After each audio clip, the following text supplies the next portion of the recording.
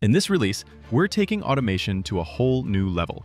Because certain spell behaviors can't be handled through auto recognition, we've created a separate compendium for spells that require advanced automation. So, for Magic Missile, after you pick the spell slot you want to use, an interface opens, showing the number of darts available and the tokens you've targeted. Creature names are hidden because players don't need to know their names. Once you cast the spell, each dart rolls its own damage. The chat is also refined.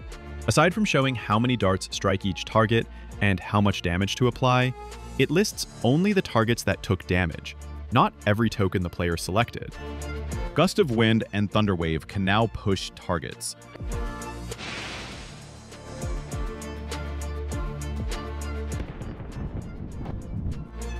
Flameblade, Flaming Sphere, and Produce Flame now emit light in their surroundings, just as they should.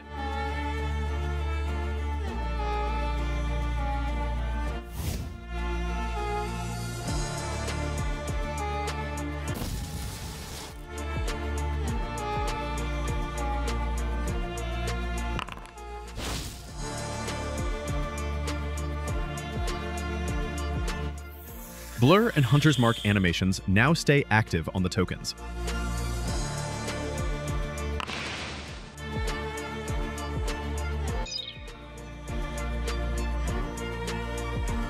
We will keep adding to this compendium as we animate more spells. Some will need extra automation. See you next time.